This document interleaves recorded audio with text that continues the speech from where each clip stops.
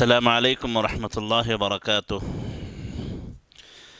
अल्हम्दुलिल्लाह रब्बिल आलमीन वस्सलातु वस्सलामु अला नबीना मुहम्मद व अला आलिहि व अस्हाबिहि अजमईन व मन तबिअहुम बि इहसान इला यौमिद्दीन अम्मा बाद मोअज़्ज़ज़ हाज़रीन इंसान की ज़िंदगी में एक ऐसी हकीकत है जिसका न किसी को इनकार है, न किसी को उसमें शक है।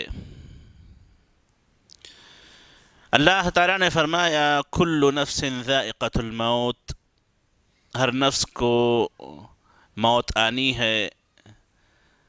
कुल्लु मन अलैहा फ़ान जो भी इस कायनात में है, इस सरज़मीन पर है, उसे फ़ना ज़रूर होना है।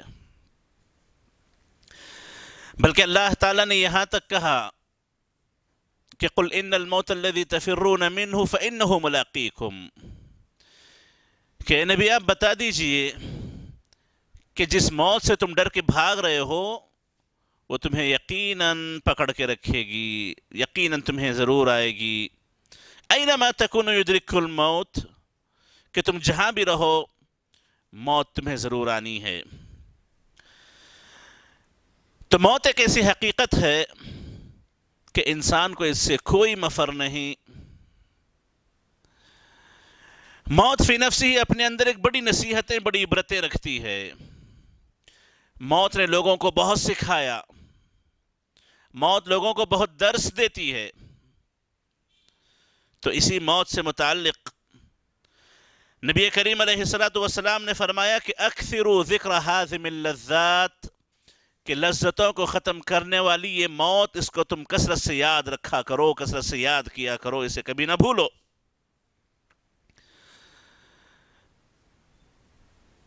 कुछ लोगों के नज़दीक मौत का तस्करा उनके लिए बदफाली का, बदशगुनी का एक ज़रिया शुमार होता है। जबकि यही मौत का तस्करा अक्लमंदों के नज़दीक एक अमल करने का जज्बा उनके अंदर पैदा कराता है। मिन असबाबिल हज़म है कि जिसके ज़रिए वो अपना, अपनी कमर बाँध लेते हैं, मेहनत की तरफ़ आमादा हो जाते हैं और यही हकीकत है कि मौत का तस्करा इंसान को और चुस्त चालाक बना देता है।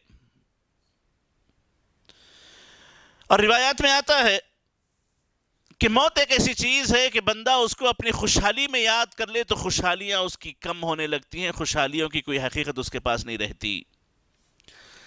और अगर कोई इस मौत को तंग हाली में, फ़कीरी में, मोहताजी में याद रख ले, याद कर ले तो ये खुशहाली और तंग, ये तंगी और फ़कीरी उसको बिल्कुल हल्की लगती है, बिल्कुल मामूली सी लगती है। यानी हर हाल में मौत इंसान को फ़ायदा पहुंचाती है, मौत की याद इंसान को फ़ायदा पहुंचाती है, सिर्फ़ अक्लमंदों के लिए जो इस मौत से नसीहत हासिल करना चाहें। बराइब आसिफ रज़ी अल्लाह तु की रिवायत है। कहते हैं कि हम लोग नबी करीम सलाम के साथ एक जनाजे पे थे। अल्लाह के नबी क़ब्र के किनारे पे बैठ गए, मौत को याद करके रोने लगे। यहाँ तक कि आपके आँसू टपक करके ज़मीन के कुछ हिस्से को गीला कर दिए। फिर नबी करीम सलाम ने फरमाया, या इखवानी लिमिसल हादल यौम फ़ाइदू कि ए मेरे भाइयों, इस दिन की तैयारी करो। ऐ मेरे भाइयों, इस दिन की तैयारी करो। तो मोज़ हाजरीन जब इंसान मौत को याद करेगा तो मौत की तैयारी करेगा। जो मौत का तस्करा बर्दाश्त ना करे, मौत को याद ना करे, मौत के ज़िक्र पर परेशान हो जाए, मौत के ज़िक्र पे नाराज़ हो जाए, मौत को कभी अपनी ज़िंदगी में जगह न दे, अपने हाफिजे में जगह न दे, वो क्या इस मौत के बाद की तैयारी करेगा?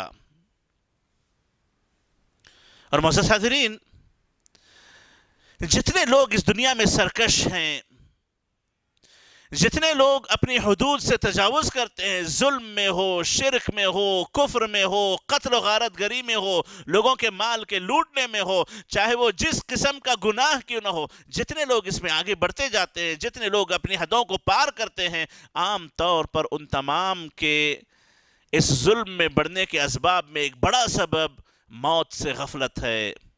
अगर उन्हें मौत याद होती, मौत के बाद के हालात उन्हें याद होते मौत की सख्तियाँ उनके जहन में होती तो हो सकता हो अपने बाज जुल्म से बाज आ जाते।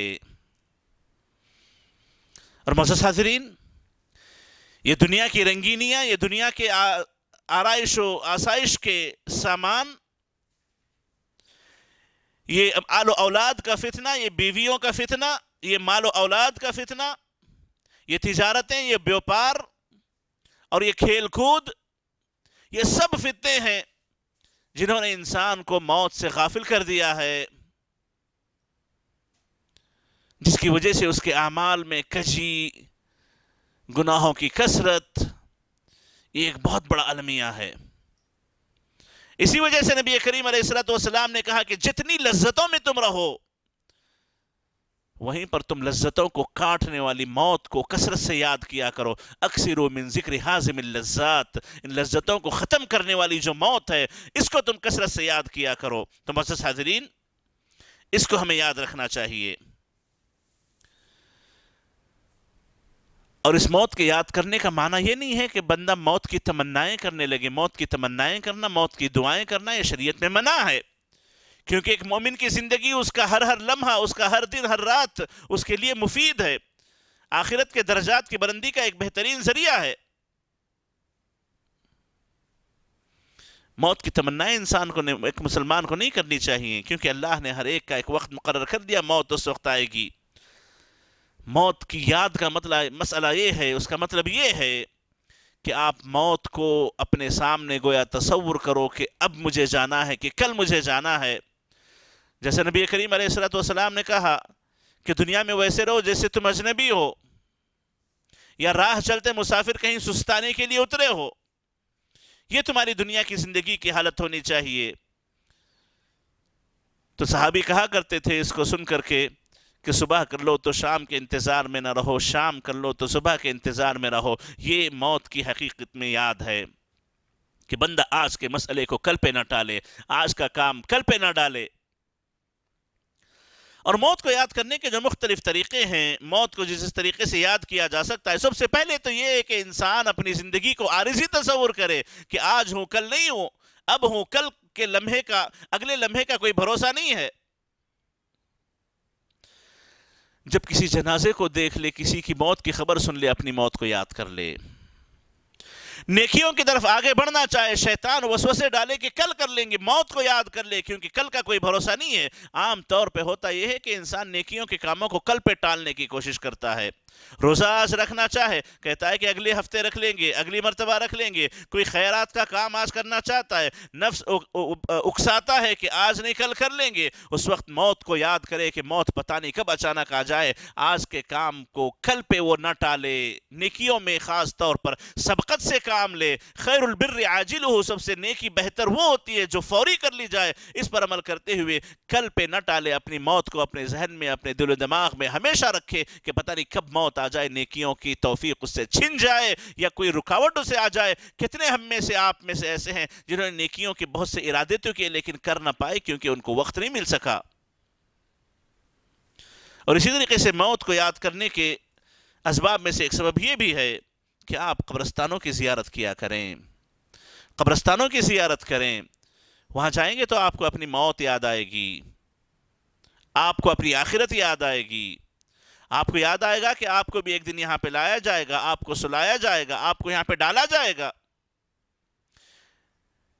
तो ये चीज़ें मौत को याद दिलाती हैं। तो मोजस हाजरीन, मौत को हमेशा अपने जहन में रखें, अपने सामने रखें।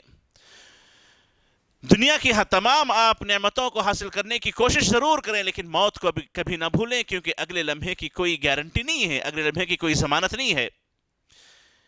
इसीलिए नबी करीम सलाम ने इसको हाजिमलज़ात का नाम दिया है कि लज्जतों को ये ख़त्म करने वाली मौत होती है। लज्जतें यहाँ पे ख़त्म हो जाती हैं। बड़े से बड़े मालदार इंसान को मौत याद आ जाए तो उसका माल उसे तंग महसूस होने लगता है। फ़कीर से फ़कीर इंसान को मौत याद आए, मौत याद आ जाए तो ऐसी सूरत में उसकी फ़कीरी उसके पास कोई मुश्किल, कोई बड़ा माना नहीं रखती। अल्लाह ताला से दुआ है कि अल्लाह ताला हमें मौत को कसरत से याद करने और अपने मौत की, मौत के बाद की ज़िंदगी की तैयारी करने करने की तोफ़ी नसीब फरमाए आमीन वसल्ला वसलम अला नबीना महमद वाला आलि वसाहबी अजमाइन वसलम वरहमल वर्का